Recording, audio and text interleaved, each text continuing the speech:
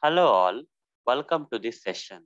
In this session, I'm going to answer software testing interview question 149. That is, what is fuzz testing? Let me answer.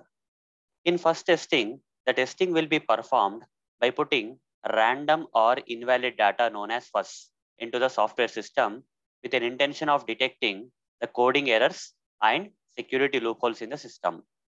So in this statement, fuzz means the random or invalid data. Okay. Whatever the random or invalid data that we are using for testing or performing the fuzz testing, right? That random or invalid data is known as fuzz. And next thing is here to generate this fuzz. Okay. To generate this uh, random or invalid data known as fuzz, we use automated systems. Okay. Automation or semi-automation we use to generate or to perform this fuzz testing.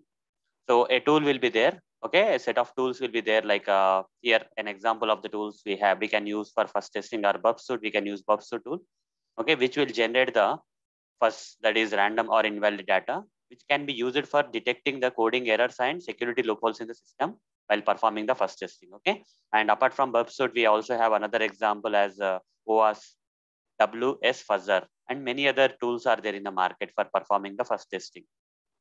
And as you already have understood so why we have to perform fuzz testing by providing uh, random or invalid data called fuzz into the software system. Why we are doing all this fuzz testing? So with an intention of identifying the coding errors, crashes, and security loopholes in the system, we perform fuzz testing. This is what is fuzz testing. Guys. Just to conclude, the testing performed by putting random or invalid data known as fuzz into the software system with an intention of detecting or identifying the coding errors, crashes, and security loopholes in the system is known as fuzz testing.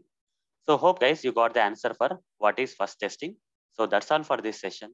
In the next session, I'm going to answer another software testing interview question for you. Till then, see you. Bye-bye.